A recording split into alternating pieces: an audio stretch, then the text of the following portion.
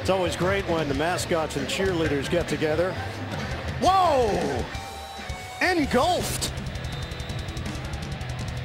That's not right.